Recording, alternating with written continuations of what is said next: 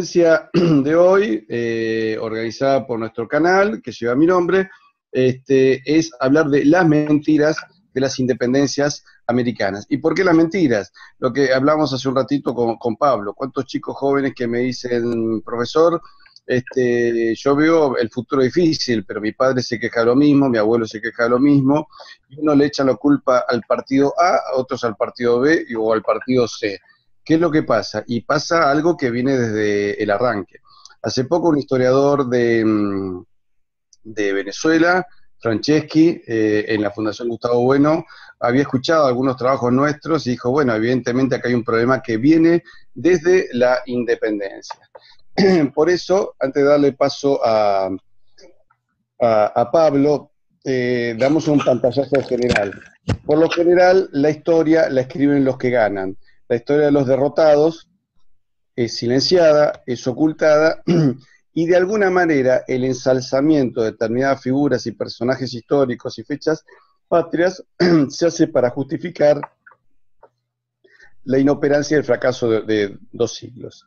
Lamentablemente toda Hispanoamérica en dos siglos ha tenido ciertos brillos, ha tenido grandes plumas, eh, y hemos tenido grandes plumas como herencia española, en fondo, eh, porque no, tenemos escritores en agua.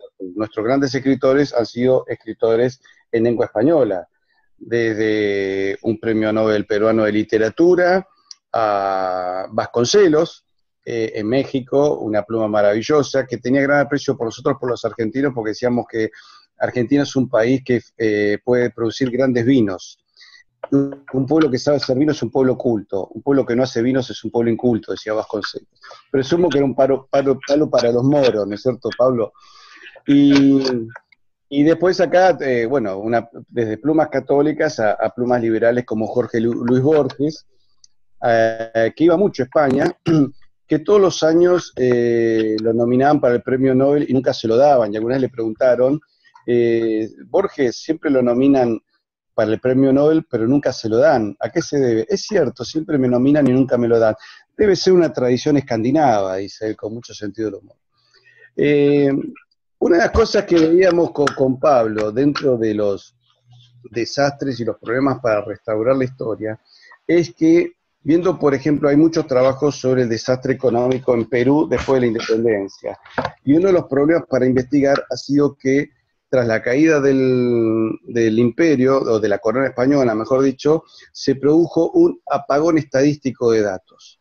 Pero juntando distintas puntas y juntando eh, investigaciones, porque investigación sobre la riqueza española en América, hasta en China. María Elvira Rocabarea me dijo que eh, quieren hacer todo un trabajo sobre el Real de A8 y han encontrado hasta historiadores en China que han logrado conseguir información estadística eh, de Oriente. Eh, lo que vemos es que tenemos un gran potencial eh, separado y que para que ese potencial nunca sea potencia, nos deban mantener así.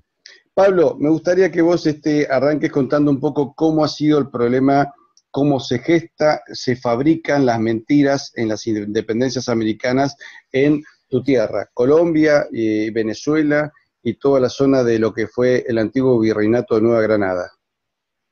Bueno, ante todo quiero darle un saludo muy especial, muy afectuoso a los amigos que nos escuchan, a los amigos argentinos, eh, a los amigos de España y por supuesto de Colombia y el resto de Hispanoamérica que muy posiblemente verá este video eh, pues más adelante cuando se lance completamente al aire y esté pues en las redes sociales y tal. Eh, para contestar tu pregunta, quisiera empezar citando una frase de Bolívar, que yo creo que toda esta mentira encaja muy bien en lo que él mismo describe cómo debe ser la ética de un político. Y él dice así, se lo dice a Luis Perú de la Croix eh, en 1828, dos años antes de su muerte. Y dice así, lo voy a citar eh, parafraseando exactamente lo que dijo, comillas, la hipocresía, la mala fe, el arte del engaño y de la mentira, que se llaman vicios en la sociedad, son cualidades en política. Y el mejor diplomático, el mejor hombre de Estado es aquel que mejor sabe ocultarlos y hacer uso de ellos. Esa es la ética bolivariana y por supuesto a partir de esa ética que el engaño y la mentira y la mala fe es eh, el prototipo que debe exhibir un político, pues eh, podemos arrancar con todas las mentiras que se han dicho a lo largo de la historia eh, de estos 200 años de independencia, que no ha sido realmente una independencia, sino una dependencia, porque independencia no hubo, dependencia sí, porque nos endeudamos hasta las cachas con los ingleses, porque nos extrajeron todo el oro pagando por todo aquello que faltaba, porque las industrias prácticamente en Venezuela quedó arrasada después de Bolívar y después de la independencia, pero absolutamente arrasada, tal como está ahora. Tan arrasada quedó que la moneda metálica que circulaba en Venezuela quedó reemplazada Bolívar por huesos de marra creer, pero es que acuñó de tal manera pues que que eso más o menos te da una idea de lo que fue la administración bolivariana y en Colombia, o sea, la nueva Granada de entonces, aquí se pusieron a circular eh, eh, papel del Estado con promesas de pagar el 6% de intereses al año cuando la inflación era del 20% mensual, después de la, del desastre que hubo en este país. De manera pues que todos estos países quedaron realmente no eh, la financiación de las guerras, porque dicho sea de paso, la Nueva Granada financió la guerra de Venezuela y financió la guerra de Ecuador y del Perú. Eh, y, y, realmente el tesoro quedó absolutamente exhausto, aparte de las depredaciones que hubo cuando Bolívar entró a Santa Fe en 1819 después de la batalla de Goya y acabaron con la Casa de la Moneda, por ejemplo, se robaron alrededor de un millón de pesos. Para que se sepa lo que era un millón de pesos de entonces, el virrey ganaba 1.200 pesos al año. Eh, el portero de la Casa de la Moneda ganaba 3 pesos al mes. Entonces ya te podrás imaginar lo que es un millón de pesos. Es un montón de dinero. Eh, estamos hablando de Pablo, eh, si me joyas eh, para poder pagarle al Estado los impuestos que pedía para financiar la guerra. De manera pues que esto fue un desastre total. Y mire, eh, fue tan desastre que nosotros ahora estamos viendo grandes emigraciones de los países centroamericanos hacia el norte, hacia los Estados Unidos, intentando entrar a ese país. Eh, nunca hubo ninguna emigración masiva de América hacia el norte, jamás. De manera pues, y, el otro dato de cuál sería la riqueza de América, que los piratas ingleses y holandeses no venían a América a robar pobreza, venían a asaltar los puertos porque eran eh, sitios muy prósperos y la América era muy rica, de manera pues que el asalto de los piratas puede dar cuenta de cuánta riqueza había bajo el dominio español en América.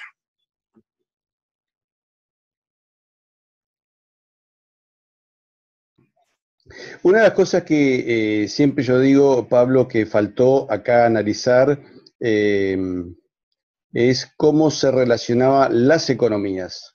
Entonces, uno de los mitos que todavía siguen, eh, lamentablemente a causa de la educación, es decir que España no nos dejaba comercializar con todos, lo cual no es así.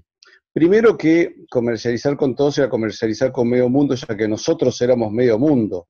Es decir, eh, como bien explicás, la crisis es posterior, porque uno podía comercializar desde aquí hasta casi, casi el estado de Oregon y desde Filipinas con toda Asia y después en, el Mediterráneo incluso con, con el Reino de Sicilias.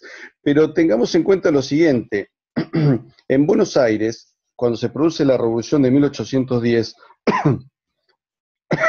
funcionaban la Cámara de Comercio con Filipinas, que recién ahora, en estos últimos años, está volviendo a abrir una suerte de cámara importante del Mercosur con los mercados de Asia. Es decir, hemos perdido 200 años de construcción de mercados. y también funcionaba la British Commercial Room, cuyo, que la dirigía un inglés, Alexander Mackinnon, que es el que escribe los primeros documentos de la Revolución de Mayo. nos los escribe un inglés donde lo único que busca es que el edicto de libre comercio se mantenga. Pero el edicto de libre comercio se mantenga a exclusivas con Inglaterra. Entonces, este, y el secretario de él era Mariano Moreno, que fue secretario de la Junta Revolucionaria del 25 de mayo de 1810. Entonces, fíjense cómo es la mentira. Comercializamos con todo el mundo, incluso con Inglaterra, pero nos dicen, no, no había libre comercio. Van a tener libre comercio ahora, pero ¿con quién? Ah, solo con Inglaterra. Entonces pasamos de comercializar con el mundo a entregarnos financieramente con los ingleses, donde, por supuesto, nosotros entregamos el cuero de materia prima y ellos nos traían los productos terminados. Y eso sí, nosotros teníamos que pagarlo con nuestra moneda, porque como bien decís, Pablo, un millón de pesos eran mil sueldos anuales de, virreyes. Es decir, alcanzaba para pagar a todos los virreyes durante de, toda América durante los 300 años y sobraba plata. Entonces, lo siguiente, eh, calculen hoy robarse mil sueldos de un presidente que gane, supongamos, 10 mil dólares, 20 mil dólares, 20 millones de dólares así de un saque. Eh, y teniendo en cuenta que con ese dinero en aquella época se hacía muchísimo más que ahora. Entonces, incluso, ¿sabes qué? Lo que pasa es que España pretendía siempre que acá se comercializara con otros países, pero con reglas de juego. Por el año 1700 o 1702, el dato no es exacto, los daneses intentaron invadir Buenos Aires. ¿Sabes cuánta gente había, Pablo, en Buenos Aires? 3.000 vecinos nada más. Y el gobernador, que nosotros en aquel momento éramos peruanos, éramos españoles del, reino del Perú. Entonces dice, ¿cómo hacemos para parar estos vikingos que andan por acá? Llamó a todos los caciques locales que participaban ya incluso del protocolo, sobre todo de la fiesta de Corpus Christi, que era la fiesta más importante, y se fueron todos los indios con las familias y todos, y de la costa cuenta que parece que se comportaban como salvajes, gritaban como bestias, le decían de todo, mostraban lanzas, se mostraban muy, muy, muy, salvajemente para asustar a los vikingos. Los vikingos viendo eso se fueron, y después los indios se fueron a su, casa o a, su, o a sus tierras, ¿no es cierto? No eran tan salvajes.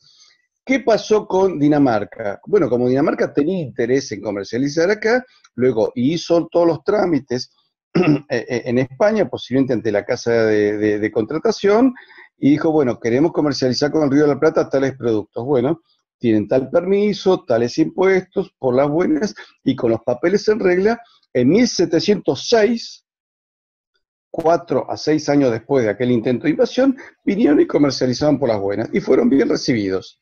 Por las malas los corríamos a cascotazos, por las buenas y con la autorización del rey eh, se podía comercializar. Entonces, ahora, si uno dice, bueno, pero había cuestiones que modernizar, sí, posiblemente sí. Ah, España además se gastaba su dinero en guerras. Vamos por partes. Si España no hubiese invertido en Lepanto y en tantas acciones bélicas para parar a los musulmanes, nosotros, es decir, el continente americano habría, se habría cortado su desarrollo. ¿Por qué? Porque tal vez hasta España hubiese terminado invadida por los moros en guerras interminables, si hubiese cortado todo el apoyo de civilización que venía de España, porque venían los primeros profesores. ¿no? Pero, pero, algo tan grave, tan grave, Patricio, es que estaríamos tirándonos al suelo cinco veces al día y nuestras mujeres estarían tomadas con el pulpo. Así que España debemos la libertad femenina y, y que nosotros no nos estemos tirando al suelo cinco veces al día. Así que eh, sobre todo eh, todos aquellos que son tan progresistas y demás, piensen que su mundo sería absolutamente distinto. Pero además posiblemente, este, si, los, si los árabes hubiesen terminado llegando a América, como vos decís, no solo estarían tirándose al suelo cinco veces al día, sino que buena parte de nuestros antepasados no hubiesen conseguido un lugar en América para venir a vivir.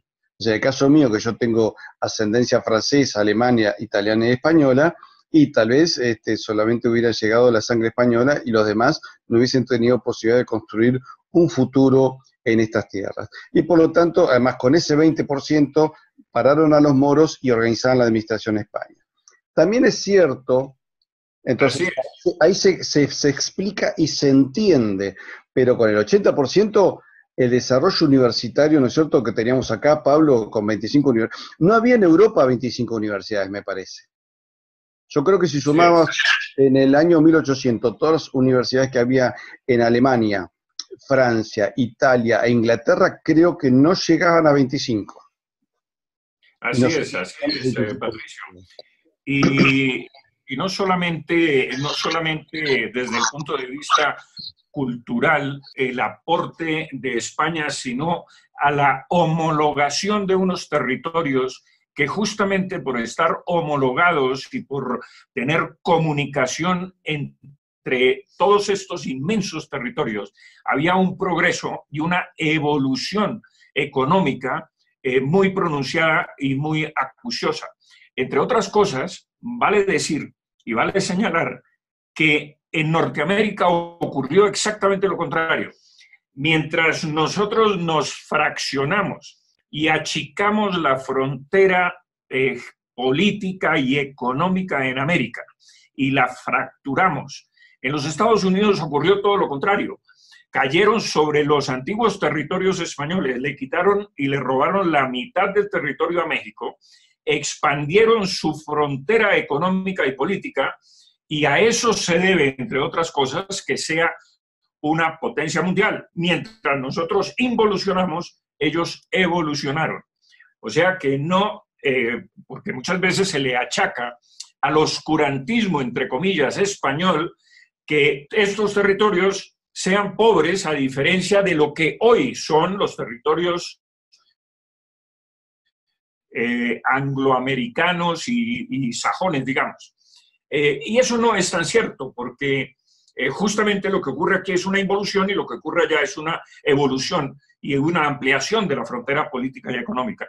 De manera pues que eh, realmente lo que nosotros obtuvimos no fue una independencia, sino una dependencia justamente por el atraso. Y dependencia porque no hay nadie más dependiente que un pobre. Y cuando estos países son pobres, pues se vuelven más dependientes, evidentemente. Eh, incluso, Pablo, lo que vos decías de México. Eh, México pierde todo lo que es el oeste y el sur de Estados Unidos, pero también pierde Cuba, eh, creo que parte de Centroamérica, y pierde Filipinas. Cuando vos le agregás además la extensión de las plataformas continentales marítimas, habría que hacer el cálculo exacto, pero creo que México ha perdido el 80% de su territorio. Decir, si México hubiese mantenido un si México se hubiese... Perdón, se, me cortó. te, quería cerrar con hacia el oeste, todo hacia el norte, incluyendo, sí, incluyendo Chicago, eh, hacia el oeste y hacia California, todo eso era español. De manera pues que del Mississippi hacia el oeste todo era español. Inclusive algunas islas alrededor de Alaska eran españolas. Sí, por eso, si eso se hubiese mantenido hoy México, si se hubiese creado, por ejemplo, el plan de Aranda y haber creado el Reino de Nueva España, y hoy ese Reino de Nueva España tendría unos 450 a 500 millones de habitantes. Es decir, sería absolutamente distinto y posiblemente el Reino de Nueva España hoy sería la potencia hegemónica. Y hoy, en vez de estar discutiendo la primacía entre Estados Unidos y China, sería la primacía entre Nueva España y China con la ventaja de que mm, eh, Nueva España tendría el aporte del reino de Nueva Granada y del reino del Perú y del Río de la Plata y de la misma España. Y ahí ya creo que seríamos nosotros, además, posiblemente si hubiese mantenido el reino de dos Sicilias y los estados pontificios, eh, con lo cual el liderazgo occidental pasaría por nosotros y China eh, no tendría tantas posibilidades de desafiarnos. Posiblemente además porque en China no se habría dado la revolución eh, maoísta y las relaciones entre China y el mundo hispánico serían cordiales como lo eran entre los siglos XVI, XVII y XVIII. Entonces, el mundo sería distinto. Uno dice, bueno, hacer teoría contrafactual es difícil, pero si uno ve los elementos de disrupción del imperio español y las consecuencias que tuvo, podemos inferir de que el mundo sería por lo menos mucho mejor. Cuando uno ve que Wall Street financió la guerra eh, a, Lenin y la revolución soviética, y bueno, ya imaginémonos un mundo que no hubiese tenido la Unión Soviética, no hubiese tenido la China de Mao y posiblemente se hubiese ahorrado las dos guerras mundiales. Es decir, realmente sería algo distinto. Acá nos pregunta Pablo, el señor Carlos Verde, ¿por qué tras las independencias no se mantuvieron junto a los virreinatos? Mi opinión, y te, dejo desarrollar a, vos, es que cuando se produce una fuerza centrífuga y el poder eh, que estaba unificado, y unificado por identidad religiosa, idioma y rey, se empieza a desparramar, aparecen no señores feudales, aparecen mafias locales que se terminan haciendo del poder de distintos países y empiezan a fabricar un país tras otro. No sé cuál es tu visión al respecto. Hombre, muy, muy parecida. Me parece que las ambiciones de poder es que, mira, cuando España está invadida por Napoleón, lejos de nosotros ayudarla con dinero y con para eh, pelear contra las fuerzas invasoras de Napoleón, nos enconchamos en nosotros mismos y a guisa de despreciar a Napoleón, comenzamos a fomentar unas revoluciones y unos separatismos para que Napoleón no se apoderara de esto. Pero era una simple excusa. Era la excusa perfecta para que las ambiciones locales eh, florecieran y cayeran sobre el poder realmente aquí lo fue un atraco y un asalto, un golpe de Estado, un atraco al poder. De manera pues que eh, no difiero mucho de tus apreciaciones. Eh, entre otras cosas, eh, fíjate, ¿cuál fue la excusa en la Nueva Granada para la independencia? Todo empieza aquí en la Nueva Granada con Antonio Nariño.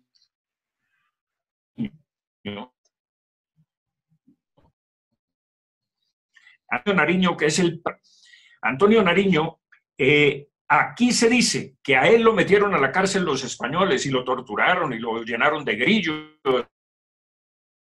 todo tipo de vejámenes, porque Antonio Nariño eh, publicó, tradujo y publicó los derechos del hombre y del ciudadano. Pero resulta que la verdad que yo he investigado es que Antonio Nariño fue absuelto por haber traducido los derechos del hombre y haberlos publicado, entre otras cosas, porque España no quería que los derechos del hombre llegaran aquí por una sola razón, y es que los franceses en la revolución habían decapitado a Luis XVI, que era primo de Carlos IV. Y entonces, claro, después de semejante masacre y semejante decapitaciones que hubo en Francia, lo que España no quería es que ese documento, y a raíz de ese documento que habían ocurrido estas cosas tan horribles, se filtrara en América y que aquí se contagiaran de semejante virus tan espantoso. No eran propiamente los derechos del hombre, que ya Isabel la Católica en su codicilo de 1400 y pico lo, lo había dicho, que había que respetar la propiedad y a los indios y tal, y había para atropellaran a los indios. De manera pues que los derechos son una formulación de la Revolución Francesa y muchísimo menos de las Naciones Unidas hoy. Ya los españoles lo tenían tres siglos antes. De manera que eh, lo que hizo España fue poner un cordón sanitario para que ese documento no entrara y fomentara una sangría parecida a la que había sucedido en Francia. Entonces, mm, yo investigando esto, porque además eh, el juez que eh, procesó y condenó a Antonio Nariño a 10 años de presidio en África, eh, fue por haberse robado 92.140 pesos de la tesorería de diezmos de la Iglesia Católica. No fue por los derechos del hombre. Entonces, esto es una mentira como una catedral. Y, bueno, esto en el próximo libro que publico en España, que eh, creo que va a interesar mucho a los españoles, las verdades sobre la independencia de América, eh, se llama El terror bolivariano, y ahí explico exactamente lo que pasó, porque el juez que lo condenó es un antepasado de sangre eh, eh, indirecto de mi mujer. De manera pues se llamaba don Joaquín de Mosquera y Figueroa, que entre otras cosas, otra de, otra de las mentiras y de las falacias que se dice es que los españoles no dejaban que los criollos tuvieran altos cargos de administración pública. Y eso es absolutamente falso, porque don Joaquín de Mosquera y Figueroa emigró en tiempos revolucionarios a España y allá lo hicieron, lo votaron por él como presidente de la tercera regencia española en ausencia de don Fernando VII eh, en 1812 y fue el signatario y ordenó sancionar y publicar la Constitución de 1812 en España. Y esto no lo saben los españoles. Este señor nació en Popayán, Colombia, al sur de Colombia, y fue presidente de la tercera regencia española, que es el más alto cargo posible, casi que haciendo las veces de Fernando VII de rey virtual en España. Y entonces cuando uno dice, pero que los españoles discriminaban a los criollos, pero si este señor era criollo y lo hicieron prácticamente rey virtual para que sancionara la constitución de 1812, es que todo se cae, todas estas mentiras se van cayendo por su propio peso. Es algo increíble lo que se ha Pablo, tengo entendido que al regente incluso se le llamaba majestad, se le daba el mismo trato que al rey, mientras cumplía la función de, regente. Sí, mientras cumplía, claro, claro. Eh, ¿No es cierto? Porque era, era, como la continuidad del trono a través de la regencia, ¿no es cierto? Era a algo de la regencia, exactamente. El, camarlengo en el Vaticano, cuando la sede papal está vacante por fallecimiento de un papa, el camarlengo se hace cargo del Estado del Vaticano y cumple las funciones del papa aunque no reciba el mismo trato, ¿no es cierto? Es diferente. Pero en el caso este, eh, sí. Acá me preguntan por qué, este, dice, mi experiencia personal, dice, nos dice un amigo, es que los profesionales angloparlantes son intercambiables y tienen mucho en común. Los árabes tienen algo parecido y nosotros en esto somos un desastre. Bueno, vamos por partes. Eh, yo en esto quiero, ir haciendo varias aclaraciones. Y también me preguntan por qué las 13 colonias se mantuvieron unidas y nosotros no. Las 13 colonias primero estaban mucho más cercanas, estaban pegadas una a la otra. Y segundo, yo creo que la independencia norteamericana fue una lucha entre logias. Pero además, eh, ¿cuál es la diferencia? ¿Por qué la independencia norteamericana yo creo que es más genuina que la nuestra? Porque, como dijo Franklin, el imperio británico en América existía solo en la imaginación de Londres, pero no era una Inglaterra trasladada a América, ya que incluso el protestantismo en Estados Unidos no era un protestantismo anglicano. Había una separación, había y la diferencia religiosa es fundamental para entender dos estilos de vida, y además porque el, el concepto de extracción que tenía y de depredación que tenía el imperio inglés era una cosa, y el concepto de traspaso de la civilización que tenía el español era otra. Entonces, no, digamos, ellos podían independizarse. Nosotros no podíamos independizarnos. Lo que nosotros pudimos hacer es apenas una secesión, y como toda secesión, porque no éramos estados preexistentes a la independencia. En, en, cambio, las 13 colonias que llevaron los Pilgrims y el Mayflower, ella era otro espíritu distinto al inglés. Entonces, lo único que tenían en común era el idioma, ¿no es cierto? Hay hasta una broma que hacen en, la novela esta, El fantasma de Canterville, donde un norteamericano habla con un fantasma inglés y dice, ¿cuántas cosas tenemos en común? Que el fantasma inglés, que es un lord inglés fantasma, dice, sí, menos el idioma, le dice al norteamericano. Entonces, en cambio nosotros éramos, éramos Extremadura, éramos Andalucía, éramos Madrid, éramos Valencia trasladados a América. Entonces, pretender una independencia de algo que no es preexistente es imposible. Es decir, por ejemplo, cuando Argelia se independiza de Francia, puede tomar decisiones de construcción de Estado porque Argelia existió antes de Francia. Entonces vuelve a imponer el idioma árabe, vuelve a imponer el Islam, puede expulsar a la población francesa. Acá no podías cambiar de idioma, no podías cambiar de religión, y si ibas a expulsar a los hijos, a los españoles, se, te hubiera, se hubiera tenido que ir Bolívar, San Martín y todos aquellos que eran de, sangre española y que era, era tan España, Bogotá como Madrid no había diferencia del 1800 ser español a un lado.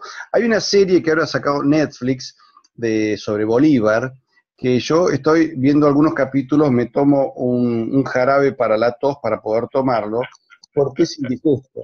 Y muestra, está lleno de, clichés, ¿no es cierto? Va Bolívar siendo muy chico con su madre que está enferma a hacer un trámite ante un regidor y los funcionarios españoles son gordos, de ojos saltones, lo cual genera mucha impresión, eh, párpados oscuros, que se la pasan comiendo y que tratan muy mal a su madre. Claro, ¿cómo no vas a justificar la independencia si te trataron mal a tu mamá?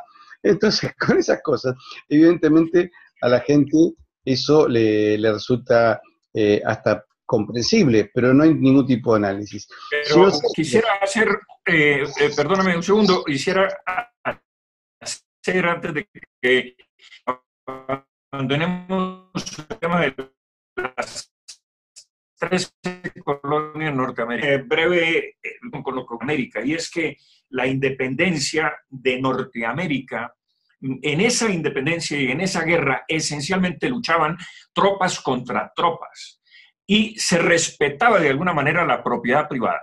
En América lo que ocurre es el asalto a la propiedad privada.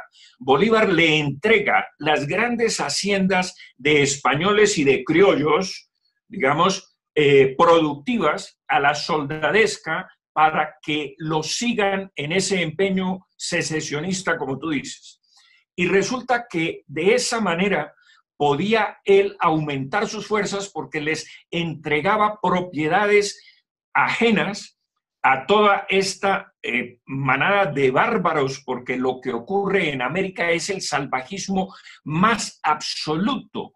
Si yo te contara, por ejemplo, que Bolívar ordena asesinar a 1.200 españoles que estaban prisioneros en las bóvedas de Caracas, de Valencia y de La Guaira, y estaban de dos en dos amarrados y, después de un año de estar allí haciendo sus necesidades físicas en los sótanos, eh, los manda a asesinar y para ahorrar pólvora los matan a machetazos y a sablazos. Y su sicario mayor, el más perverso de todos, que se llamaba Juan Bautista de Arismendi, que era gobernador de Caracas cuando logra eh, un poco de independencia, porque luego viene la reacción española y finalmente se reconquistan esos territorios, pues bueno, en ese interregno, este salvaje lo que hace es traer 12 damiselas vestidas de blanco y las pone a bailar sobre los muertos. No lo vas a creer, pero esto es, esto es algo de espanto lo que ocurre en América. Si es que en mi libro, El terror bolivariano, yo describo todo lo que hizo este salvaje, pero, pero además, mira, mira lo que Bolívar mismo dice de sí mismo. El 7 de enero de 1824 dice, le escribe a Santander, que es otro de los próceres, y le dice, me suelen dar de cuando en cuando unos ataques de demencia, aun cuando estoy bueno, que pierdo enteramente la razón sin sufrir el más pequeño ataque de enfermedad o de dolor. Y entonces cuando tú dices, pero, que, pero este es el libertador, cuando él mismo dice, lo único que yo he hecho es ejercer la dictadura eh, todos estos años. Y tú dices, este es el libertador de buena parte de América, pero ¿de qué estamos hablando? Entonces, la depredación que hubo en América no sucedió en Norteamérica. Y por eso, por supuesto, se respetó mucho la, propiedad privada y se, y se pudo, digamos, el aparato económico, que es lo que, acuérdate lo que está pasando ahora en Venezuela, expropiese, expropiese. Pues eso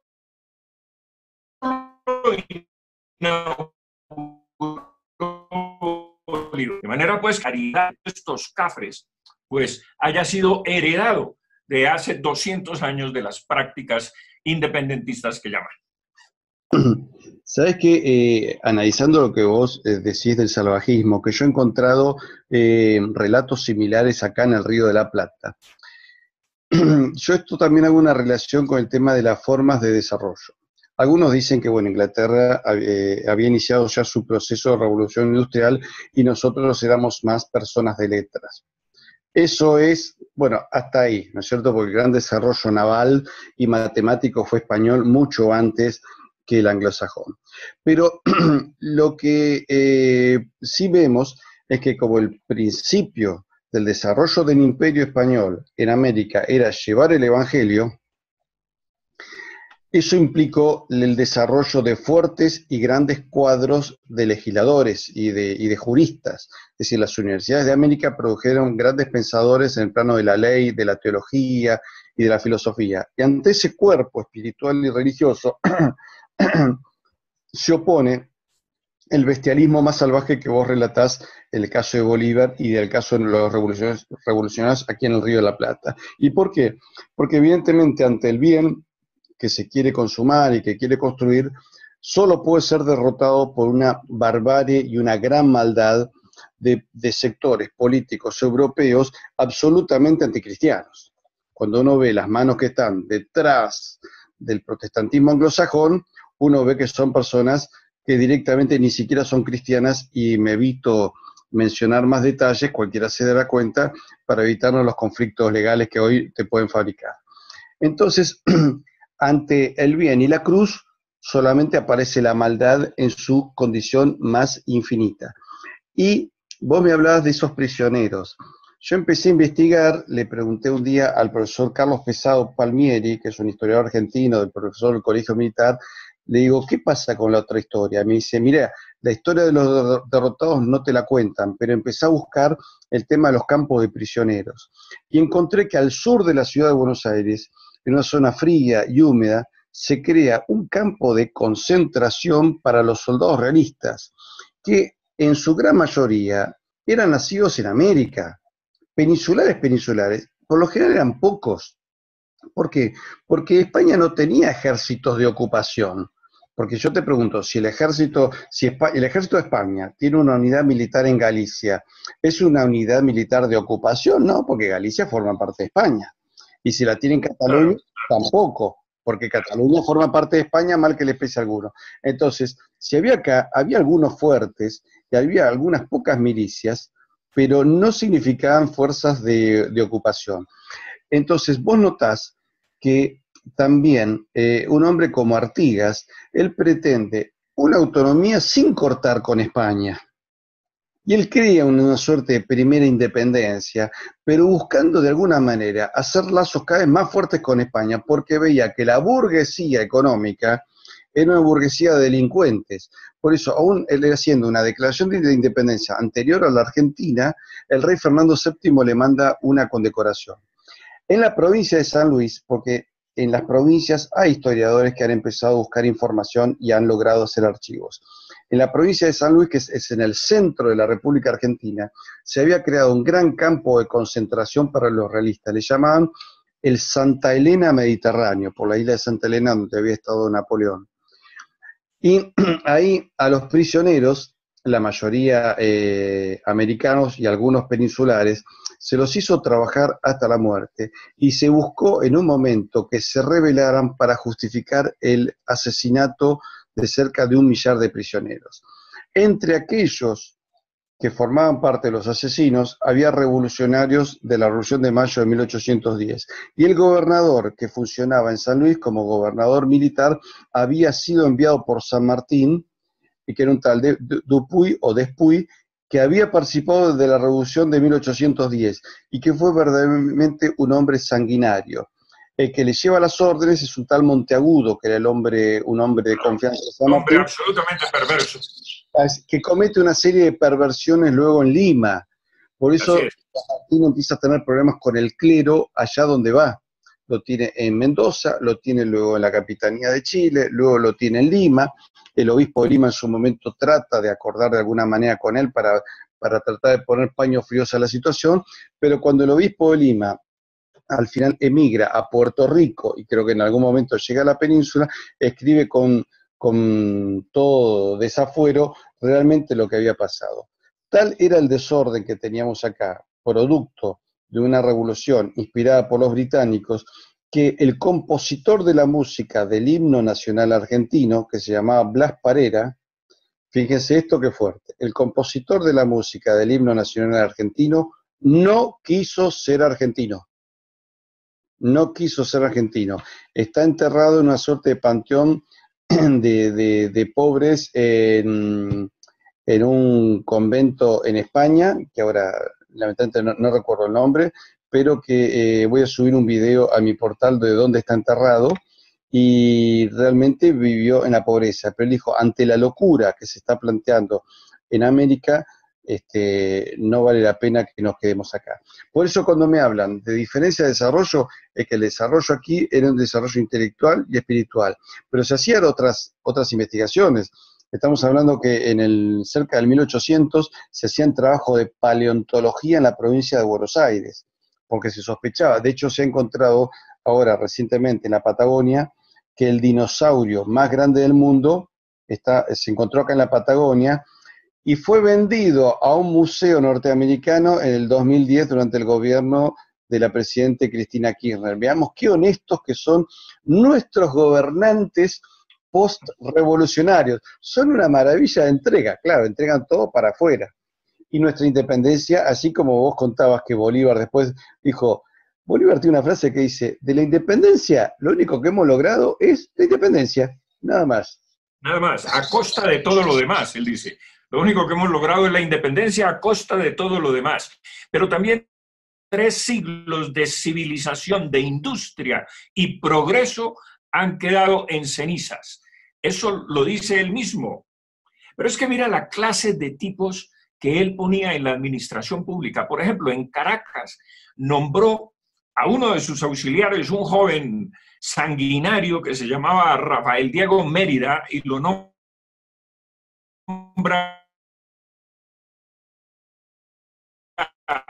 ministro de Grasa, describe quién era este personaje. Y dice lo siguiente, era díscolo, intrigante y perverso, y su naturaleza estaba herida de la maldición del cielo y parece que en sus venas corre el veneno y en su mente reside el espíritu de Satanás. Entonces tú dices, pero este es el ministro de gracia y de justicia que pone él, que en sus venas reside el espíritu de Satanás. Y tú dices, pero este es el libertador de cinco países.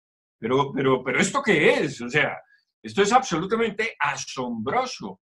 Todo lo que se ha tapado, todo lo que se ha ocultado. Pero quiero decir lo siguiente, mira, si tú miras la conformación de lo que se construía en Norteamérica, en esas 13 colonias inglesas, eh, las casas eran de madera, los fuertes eran de madera, y en América, mira Cartagena con los fuertes monumentales y monstruosos y todo el Caribe hechos de piedra de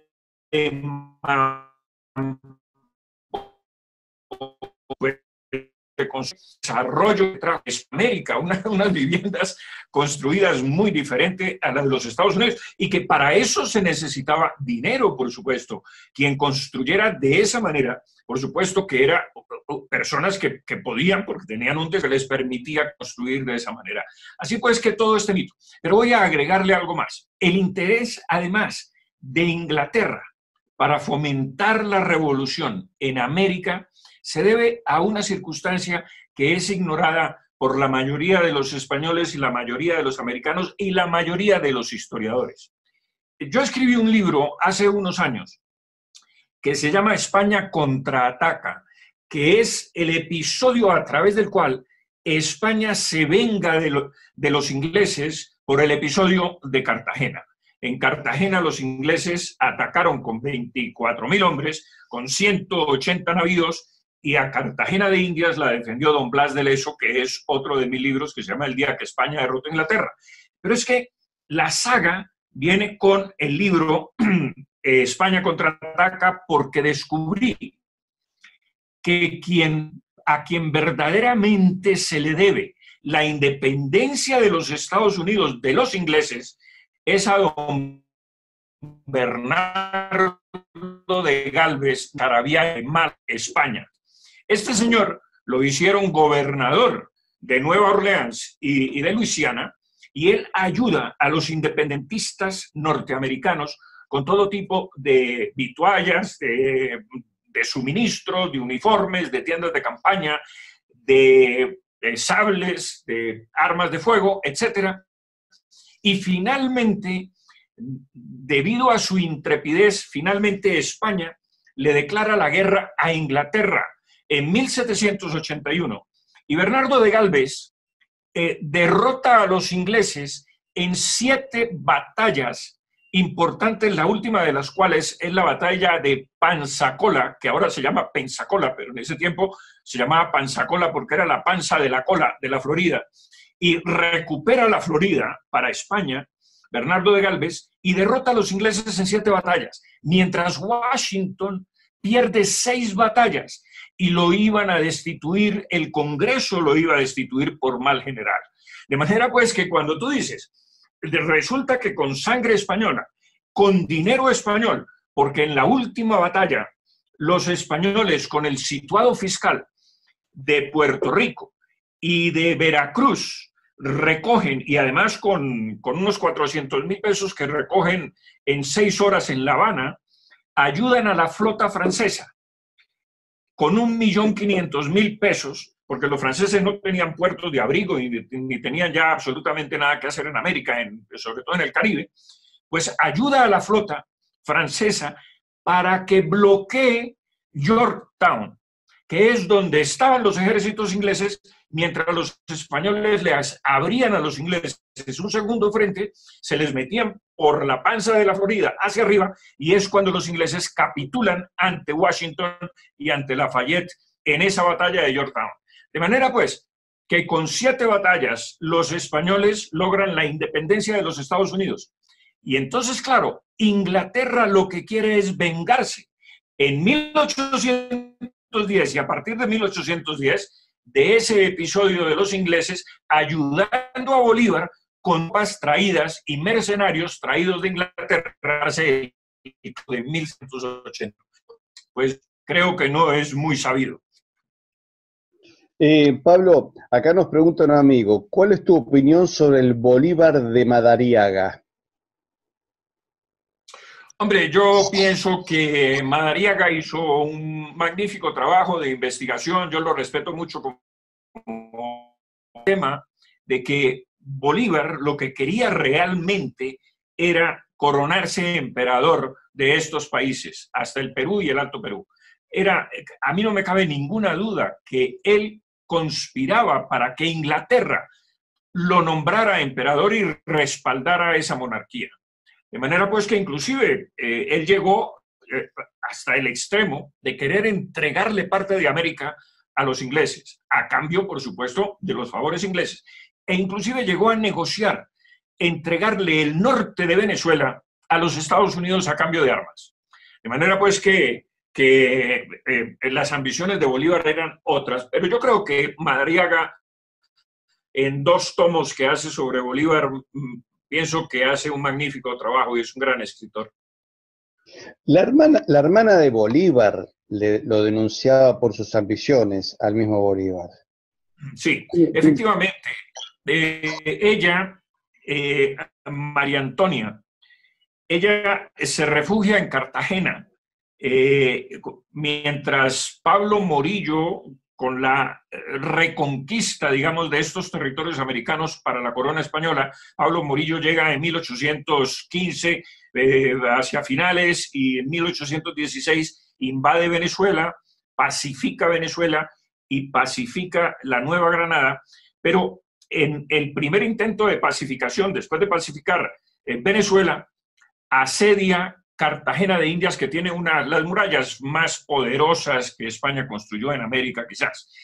Y eh, eh, los cartageneros pues, están revelados y finalmente durante 114 días ocurre el asedio hacia Cartagena y Pablo Morillo deja escapar un grupo de rebeldes, entre ellos María Antonia, la hermana de Bolívar, y ella huye hacia, hacia Jamaica y luego se eh, huye a, a, perdón, a, a La Habana, y en La Habana ella está con su marido, que era epiléptico, y sus cuatro hijos, y se estaban prácticamente muriendo de hambre. Y entonces ella le escribe una carta a Fernando VII suplicándole que le desembarguen sus propiedades, que se está muriendo de hambre, que no tiene de qué vivir. Y entonces Fernando VII se compadece de ella y le asigna mil pesos anuales para mantenerla en La Habana mientras se arregla el, el problema jurídico eh, en Caracas. Pero hay esa carta que le envía a Fernando VII, le dice, yo no tengo la culpa de tener el apellido Bolívar del asesino de mi hermano. De manera pues que ya te podrás imaginar que eh, y luego Fernando VII le dobla la asignación al año y, le pone dos mil pesos para mantenerla. Y vale la pena decir que contra la visión de estos mentirosos, resulta que ellos han dicho que los españoles mm, pues eran gente cruel, asesina, espantosa y tal. Y mire usted, como de las cajas reales, como Fernando VII se apiada de la hermana de don Simón Bolívar, como, eh, hombre, magnánimamente. Entonces, ¿dónde queda el espíritu? ¿Eh? Dos veces le, le aumenta el sueldo. Pero eso lo mismo hace el virrey con Antonio Nariño, que es el precursor de la independencia. Mientras está pagando cárcel, su mujer y sus hijos están padeciendo penurias económicas y el virrey de las cajas reales del virreinato de la Nueva Granada mantiene a su mujer y a sus hijos para que no se mueran de hambre, cariño. Entonces, esto no se ha visto en la República, que a ti te metan en la cárcel y que el Estado te, te subsidia a tu mujer y a tu familia. las repúblicas no tuvieron ningún tipo de conmiseración con nadie. Con nadie. Ni siquiera con los propios habitantes, porque lo primero que hacen es anular las repúblicas de indios y quitarles a los indios todas sus tierras. Por eso hay que recordar que los, aborígenes peleaban por, en defensa del rey. Incluso te digo más, en las invasiones inglesas, en 1806, después de que recuperamos Buenos Aires, pero sabiendo que venía una segunda invasión, se apersonan 16 caciques al Cabildo de Buenos Aires. Algunos de, esos caciques están enfrentados entre, sí, tenían guerras tribales, y dicen que han firmado un acuerdo de paz entre ellos para venir a ayudar para echar a la basura inglesa. Pero ellos dicen, reprochamos a nuestro buen señor y soberano don Carlos IV el que no nos haya convocado para echar a la basura inglesa tenemos 30.000 lanceros para luchar contra los colorados por el uniforme, por la casaca roja inglesa, ¿no? 30.000 hombres tenemos. Y Liniers los organiza en la costa atlántica para frenar, para que los ingleses no le abran dos frentes y poder concentrarse con toda su fuerza en un solo frente, cosa que lo logran. Eh, y entonces, eh, los, en toda la costa atlántica, lo que sea la costa balnearia nuestra, los ingleses no pueden desembarcar y desembarcan por el norte de la ciudad de Buenos Aires. Así todo, parece ser que un grupo de indios logra, vuelve sobre sus pasos y ataca a una, a una fuerza británica en medio de, de las invasiones. Te quería comentar algo. Acá el amigo Rafael Cortés dice que habría que implementar algunas cuestiones prácticas para fortalecer por lo menos un espíritu de unidad o de reunificación. Y él, una de las ideas que dice, ¿Qué pasa si hubiera servicio militar interpaíses? Un español haría unos meses de servicio militar en Colombia, un argentino en España, un uruguayo en Chile, y de esa manera podríamos justamente fortalecer un sentido de hermandad. ¿Qué te parece la idea? Me parece original. Eh, Hombre, eh, sí es muy original la idea, Sí, eh, no, yo creo, pero, eh, pero la decisión tendría que ser esencialmente política, porque evidentemente los militares están muy orgullosos de las gestas independentistas y tienen, por supuesto, les han lavado el cerebro desde que ingresan a la escuela militar, etcétera, y, y pero políticamente podría ser, inclusive aquí en Colombia, yo soy eh, mayor de la Reserva Profesional del Ejército de Colombia y, eh, y, miembro de la Escuela Superior de Guerra. Y aquí en Colombia viene muchísima gente, tanto de, yo no tanto no de España, sino del resto de América, a entrenarse, eh, digamos, en altos estudios militares. Y yo creo que ese es como una especie de comienzo para ese tipo de unificación. Pero más que eso, yo diría que el problema es un problema político, de voluntad política y, y político como el que está surgiendo en Puerto Rico y quizás incipientemente en Cuba, un poco al estilo de la Unión Europea.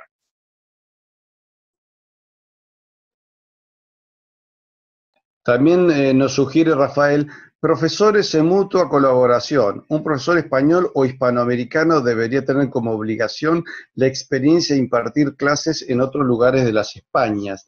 Eso sería interesante, ¿eh? Un profesor de matemática del Uruguay dando clases en Chile, ¿por qué no? Sí, Todo ayuda, yo creo que todo ayuda, todo ayuda. Yo creo que con respecto a las Fuerzas Armadas, algo que podríamos tener nuestros más de 20 países, es que parte de las unidades militares tengan como segunda asignación de funciones formar parte de una fuerza, por ejemplo, de ayuda mutua en caso de catástrofes. Entonces, hay un terremoto en Nicaragua o en Chile, ya hay un comando de coordinación militar para que salgan aviones, rescatistas. Claro, algo así. Argentina, de hecho, fue impulsora de los cascos blancos nosotros tendríamos que tener nuestros cascos blancos con aspas de Borgoña, eh, y se podría elegir un jefe, un primus inter pares, un jefe de honor que podría ser el mismo rey de España, este, y el segundo podría ser un presidente americano de forma rotativa, pero esa sería una manera también que yo creo que eh, se podría ver la fuerza en conjunto. De hecho, cuando hubo un terremoto en Chile, fueron rescatistas españoles y hay un video muy lindo cuando los españoles vuelven al aeropuerto de Santiago para volver a España y todo el pueblo chileno gritándole viva España, gracias España. Entonces, también se vio la guerra de Malvinas con el apoyo de muchos países que quisieron apoyarnos. Entonces, si empezamos a tener, eh, allá justamente hablaba con un diputado argentino, un especialista en el tema de Malvinas, y yo le decía, mira, él decía que en algún momento el reclamo de Malvinas tendría que estar unido con el apoyo de Uruguay Bolivia y Paraguay. Y yo digo, y tendría que estar apoyado con todas las naciones que formaban parte del virreinato del Perú, porque empezaremos a ver este, si Malvinas formó parte de la capitanía de Chile y cuando Chile era parte del Perú, entonces si empezamos a ver esas causas comunes, podríamos empezar a buscarlas como elementos de, interés común y de reunificación común. De hecho, Pablo, hay un pequeño segmento de la Hispanoamérica separada que ha estado, se ha reunificado. Durante la primera presidencia de Perón en Argentina y de Ibáñez del Campo en Chile, había una superposición en la Antártida. Hay un sector antártico argentino que se superponía con un sector del Antártico chileno y se lo declaró a ese pequeño segmento como un sector binacional argentino-chileno. Entonces, de esa manera se generó un primer modelo, un primer ejemplo de que esto sería, sería posible. Y una de las cosas que debemos hacer los que hacemos un trabajo intelectual o de divulgación histórica es justamente empezar a crear conciencia hasta ver si podemos crear alguna institución con la bandera común de la aspas de Borgoña, un reclamo común como este, yo le diría, bueno, pongamos las banderas de los estados de los que hoy ya separados éramos antes el virreinato del Perú, pero a su vez la bandera común con Aspa de Borgoña, hasta que empecemos a tomar la idea de que todos nuestros estados tenían que tener como segundo símbolo las aspas. Porque supongamos, yo te digo, Pablo, si el presidente de Colombia tiene una reunión con Angela Merkel y por tratar la agenda común colombiana-alemana, pero lleva las dos banderas y avisa a la Cancillería de Colombia, a todas las cancillerías hispanoparlantes, si alguien quiere tratar algún tema. Y Uruguay, Argentina, Chile le mandan algunas carpetas de temas que necesitan que se decidan, con asesoramiento de todas las eh, eh, cancillerías, y ya el presidente de Colombia se cae con la agenda de Colombia, de Argentina, de Uruguay, de Chile, de Honduras, y ya Angela Merkel empieza a ver en esa bandera, que fue bandera del imperio, o sea, los tercios alemanes también usaban esas banderas, y empieza a ver que ya el presidente de Colombia se le agrandan los hombros y ya no representa 45 millones de personas, sino 450 millones. El peso político y el peso de... Por supuesto, enorme, enorme. Exactamente. Entonces, de esa manera, este, yo creo que serían cuestiones prácticas para que de alguna manera todos empecemos a trabajar eh, en común y a ver problemas en común. Y las causas de Belice que tiene Guatemala, las causas de Sequibo que tiene Venezuela, el Peñón de Gibraltar y Malvinas, y hasta tal vez Guantánamo, podrían ser causas empujadas por la Cancillería de todos nuestros países en común. Entonces, si, Inglaterra no se sienta a negociar Gibraltar, tal vez estemos de acuerdo en no venderle determinados alimentos a los ingleses y no comprarle determinados insumos industriales a los ingleses. Entonces, cuando los ingleses, las finanzas, le empiecen a hacer ruido, ¿te acordás de aquella frase de Perón que decía, el órgano más sensible del hombre es el bolsillo? los ingleses tienen un tema con el bolsillo, que tienen que llenar siempre con bolsillos ajenos, ¿no? Porque sus bolsillos no tienen fin, Además, el dinero y el poder eh, son los dos afrodisíacos más grandes que posee el ser humano. Así es. Acá nos pregunta otro amigo, ¿qué nos podríamos comentar sobre la leyenda negra de la iglesia? Bueno, van unidas, la leyenda negra contra la iglesia y contra España, trabajan como dos pinzas de una misma tenaza, ¿no es cierto? ¿Por qué? Porque en el fondo nuestra identidad eh, si yo en el 1800, si Pablo y yo hubiésemos nacido los dos en el 1780 y yo lo hubiese ido a visitar a Santa Fe de Bogotá, él no me hubiese presentado como un extranjero, sino como un compatriota que es forastero, de otra ciudad un poco más lejana, pero nada más. Todos los pueblos se identificaban por la religión. Yo soy católico y súbdito del rey, lo decía un habitante de San Felipe de Montevideo, Santa Fe de Bogotá, Santiago de Chile y Manila en Filipinas o Monterrey México. Entonces, dado que la unidad está dada por la fe, este, eso nos hacía a todos compatriotas. Por eso, el trabajo en destruir la fe, infiltrarla, destruir la corona española, infiltrarla, y convencernos de que, de, de, acuerdo al cine, que somos todos como una suerte de vagos mexicanos con un sombrero gigante que nos la pasamos durmiendo la siesta al sol, porque el sol nos ha quemado las ideas entonces nunca se destacan nuestras glorias, nuestros premios Nobel, nuestros avances científicos. Claro, ni, siquiera se destacan las de España, que son absolutamente gloriosas. Eh, eso, eso se da por descontado. Pero hablando de la Inquisición, lo único que hay que hacer es comparar el número de procesados por la Inquisición católica y el número de procesados por la Inquisición protestante y comparar el número de condenados por una y por otra y nos daremos cuenta de lo que verdaderamente es, digamos, el abismo que hay entre una y otra. Por ejemplo, en Alemania, en 10 años, ejecutaron 10.000 personas. En, en España, en tres siglos, no ejecutaron más de 46 porque el resto de las personas las ejecutaban en efigie, es decir, eh, ponían un muñeco y, lo quemaban, ¿no? A nombre de la persona eh, tal. Pero adicionalmente, la Inquisición católica tenía la inmensa ventaja de que te podías arrepentir y entonces te soltaban, no, te pasaba nada, te arrepentías, te confesabas, te arrepentías de, lo que habías cometido. Y, y mucha gente, para que no fuera capturada por, por la ley civil, digamos, y condenada por los jueces civiles, eh, cometían actos de herejía para que los eh, para que los procesara la Santa Inquisición, porque eh, era mucho más benigna. Por ejemplo, no se procesaba borrachos, no se procesaba dementes, no se procesaba mujeres embarazadas, nunca se procesó un indio, aunque profesara otras religiones paganas, etc. y tenía una serie de, eh, digamos, de mm, ventajas eh, eh, jurisdiccionales a, las cuales se acogía muchísimos reos de otros delitos para que no fuesen juzgados tan severamente. De manera pues que cuando uno mira lo que pasó, por ejemplo, en Irlanda, que, la Inquisición protestante asesinó 998 curas, y, comparas eso con, con España, O lo comparas con Cartagena de Indias. En Cartagena de Indias, que era una ciudad muy importante, eh, se procesaron cinco personas y se ejecutaron cinco personas en tres siglos.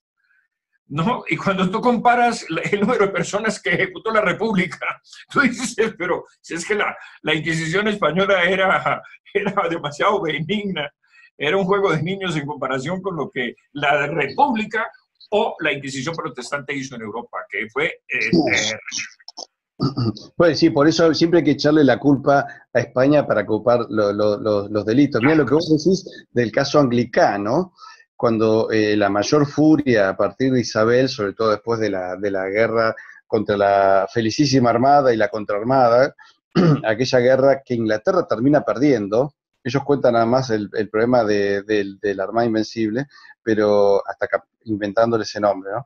Pero eh, la persecución contra los católicos significó una masacre con pseudo juicios. Hay unos 230.000 acusaciones que no llegan a ser juicios formales. La acusación era el ser católico, cuando habían sido católicos durante siglos. 230.000 juicios y 260.000 ejecutados. O sea, ya algunos ni, ni, con, ni con la acusación ni juicio, directamente a juicio. Ni hablar de lo que hizo la tan mentada Revolución Francesa, igualdad, fraternidad, pero para matar gente, 600 mil de, la Todos iguales en la guillotina. Los bandianos mataban hasta mujeres embarazadas atravesándoles el vientre embarazado con bayonetas y luego la tierra la bañaron en sal para que ni siquiera pudieran cosechar porque los consideraron una tierra de malditos porque no eran revolucionarios. El típico, la típica soberbia del revolucionario, ¿no? Como hoy lo vemos con muchos de estos movimientos eh, de cuestiones de género. No, nosotros somos culpables de ser hombres y ya eso pasaría a ser un delito y, estamos viendo las aberraciones que se están viendo que ya son de público conocimiento en distintos medios y redes sociales, ¿no es cierto? Entonces, eh, todo este tema de la ideología de género eh, su predicado mayor y más importante es que no nacemos ni hombres ni mujeres. La, la sociedad es la que condiciona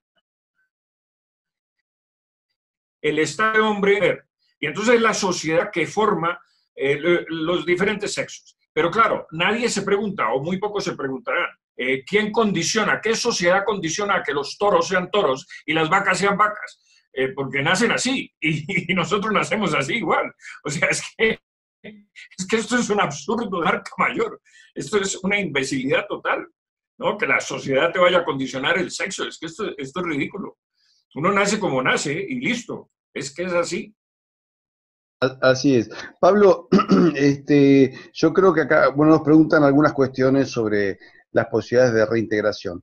Yo no diría que nos pongamos a hablar de reintegración porque no está en nuestras manos, ni Pablo es presidente de Colombia, ni yo de Argentina, que si fuéramos ambos presidentes nos ponemos de acuerdo en cinco minutos. Simplemente nos pondríamos a analizar cuestiones operativas de cómo ir enlazando nuestras economías y nuestras actividades culturales, hasta tal vez hacer eh, academias militares en conjunto y hacer un cambio educativo, ¿no es cierto? que corregir la educación. Pero si la gente ve en esos procesos de reunificación ve la lógica y ve resultados concretos, supongamos que eh, Pablo y yo nos ponemos de acuerdo y un, presidente de Chile también, y ya decimos, bueno, estamos ya sumando, y Uruguay también, 100 millones de personas, vamos a hacer una suerte de eh, NASA común vamos a hacer una industria cinematográfica común y la gente empieza a ver que lanzamos satélites propios y que hacemos cine de alta calidad mostrando nuestros logros, ya la gente empieza a entender.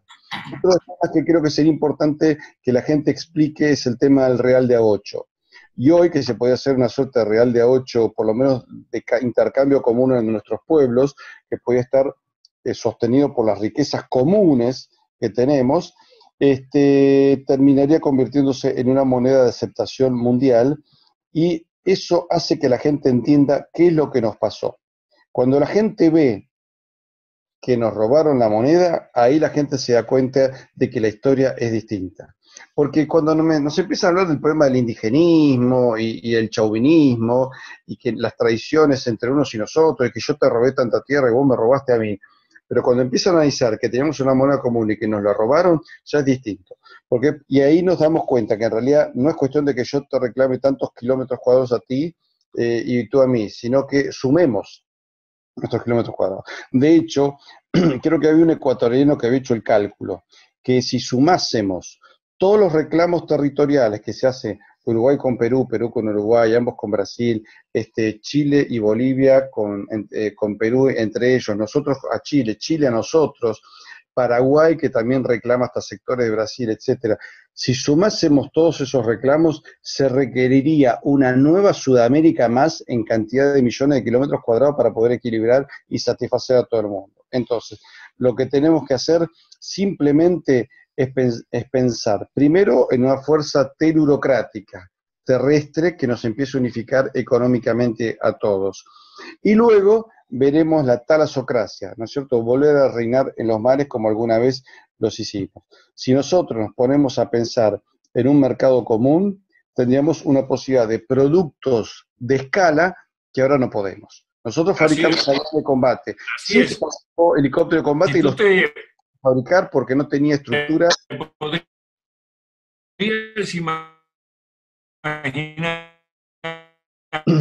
Alejate del micrófono, alejate del micrófono, Pablo. Sí, digo yo que tú te podrías imaginar si todos estos pueblos unidos a España, el peso específico político que tendría España en Europa. Eh, ¿Me, me escuchaste? El peso, si nosotros estuviéramos además unidos a España, te puedes imaginar el peso político específico de España en Europa. Mandaría la parada en Europa. Y nuestro idioma también, que entre otras cosas está relegado porque los, idiomas eh, eh, son el inglés y el francés, que son los oficiales, y el español, que lo hablan 500 millones de personas, eh, no hace mella en Europa. De manera pues que si estuviéramos unidos a España, te puedes imaginar el peso político que tendríamos en Europa y en el mundo entero. Y eso evitaría justamente que Europa eh, avance sobre nuestros intereses y poder sí abrir puentes de desarrollo con Europa. ¿No es cierto? Es. un proyecto, por ejemplo, Argentina tuvo un proyecto junto con Alemania para hacer un tren de levitación magnética, pero México y España tenían principio de desarrollo para hacer el Hyperloop, que es un tren más veloz todavía que el tren de alta velocidad. Creo que es un tren de 900 kilómetros por hora. Bueno, ¿qué pasa si hacemos una gran empresa ferroviaria que una México y tal vez pueda traspasar la, frontera entre Estados Unidos y llegue hasta el sur de Chile y al sur de Argentina? Y esa misma tecnología España la puede implementar primero en la península ibérica y luego tal vez hacer una empresa de trenes transnacional con Francia, ¿no es cierto? Entonces, este, ya no estaríamos subordinados al capricho de unos o de otros. También tenemos escalas de ingenio para fabricar nuestros propios aviones de combate y tener fuerzas aéreas, por ejemplo, homologadas. Imagínate si nosotros en la guerra de Malvinas de 1982 hubiésemos tenido una fuerza aérea homologada con, eh, con todo el mundo hispánico, español y español americano. Y posiblemente nuestra fuerza aérea hubiera sido cuatro o cinco veces superior y si con la que teníamos le dimos una buena paliza a los ingleses, con una cinco veces superior les hubiéramos hundido la flota en 24 horas, ¿no es cierto? Pero lo que tenemos que pensar es, en positivo, lo que podemos hacer, eh, vemos que están haciendo partidos con sentido más patriota en España y acá en Argentina. Acá me preguntan amigo Cristian sobre Vox en España, no sé en Argentina. Bueno, vemos que hay eh, principios de recuperación. La gente, el mundo español está deseoso de glorias y de gestas. Si nosotros eh, apuntamos a esas gestas, pues vamos a poder lograr enfrentarnos en el siglo XXI a las grandes potencias y salir bien parados.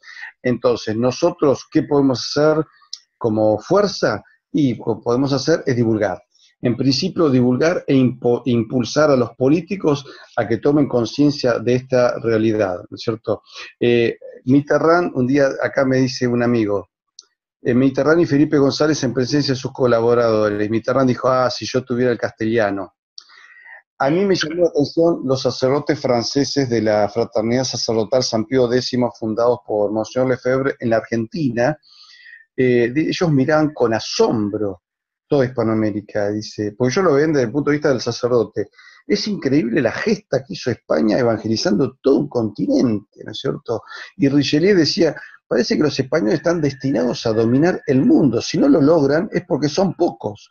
Bueno, ahora veámonos como 600 millones de compatriotas este, y ya vemos que si bien hay resistencias, hay chauvinismo, esto se está abriendo. Ya hoy de Chile, que los chilenos siempre han sido más cerrados, acusados de ser pro-británicos, etcétera, están apareciendo cada vez más hispanistas que yo recibo comunicación permanentemente de chilenos, que ya están publicando libros, que ya están discutiendo en la televisión de Chile sobre qué pasó en la independencia, y si bien tienen un nacionalismo muy acendrado, ya empiezan a darse cuenta que su nacionalismo forma parte de una gran patria eh, española americana y que ya tienen que darse cuenta de que solos no van a poder enfrentar el mundo, eh, el mundo como se viene. Hoy se discuten dos modelos, el chino o el norteamericano. Si nosotros nos fortalecemos, podremos negociar con aquel que gane y tal vez seamos el tercero en discordia y podamos negociar con ellos, poder negociar con los rusos que no van a ceder su posición de potencia y ahí posiblemente hasta podamos entendernos con los norteamericanos y tender puentes con Estados Unidos para evitar los abusos que tradicionalmente hemos sufrido por parte de ellos. Eh, Pablo, no sé si quieres comentar algo más.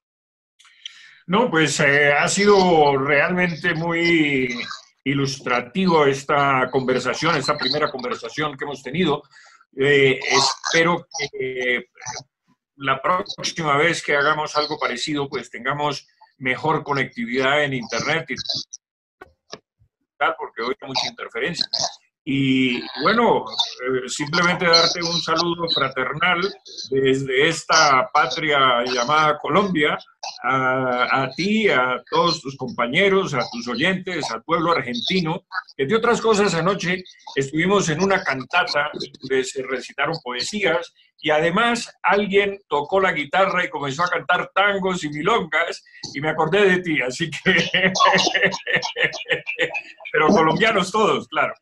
Eh, de manera pues que nos une muchísimas cosas, nos une eh, y que estamos, estamos hablando el mismo idioma.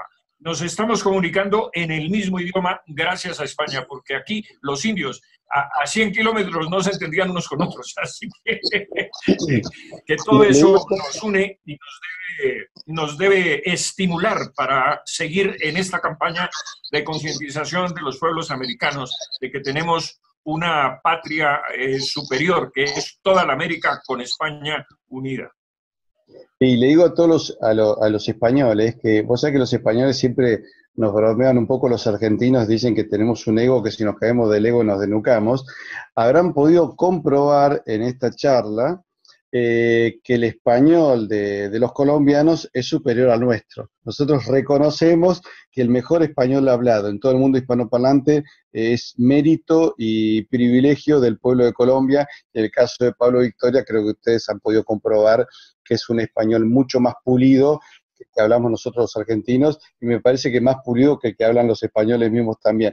Pero eso debe ser motivo de orgullo para los españoles. ¿no es cierto? Si una hija de España lo supera en el cuidado del tesoro de la lengua, eso es un motivo por el cual los españoles deben estar muy orgullosos, como cuando un padre se pone orgulloso de que un hijo lo ha superado a uno. Y en eso quiero felicitarle, felicitarte, Pablo, porque he visto que la entrevista que le hicieron a tu hijo en Intereconomía ha pasado el millón de visitas. El millón de visitas. Con lo cual me imagino que estamos muy orgullosos. Sí, por supuesto que lo estoy, claro que sí, porque mis hijos han sido instruidos desde niño a España y además les he dicho, el que se me tuerza, lo desheredo. Lo entendido todo. Pablo, te mando un fuerte abrazo este, eh, y a, los españoles que dicen, cada vez lo hablamos peor los españoles. No, tengan, tengan, eh, tengan optimismo. Yo en España uno camina y se puede encontrar con la tumba de los reyes católicos, con la tumba del Cid, con las murallas de Ávila. El día que los españoles se saquen la venta y vean toda esa riqueza delante de sus ojos, yo creo que España, en España va a renacer un nuevo Cid, ¿eh? va a renacer una nueva Isabel de Castilla, han tenido numerosos héroes, otro don, otro don Pelayo, otro Recaredo, pero van a aparecer los nuevos héroes que necesiten eh, levantarla y que necesiten tender puentes con nosotros y tal vez todos juntos empecemos a recuperar nuestra civilización. Dios, Dios nos oiga eh, y Dios nos bendiga a todos los pueblos de la América Española y de la España peninsular. Pablo, un fuerte abrazo para vos y un fuerte, abrazo a ti y a todos sus amigos. Gracias. Hasta pronto a todos.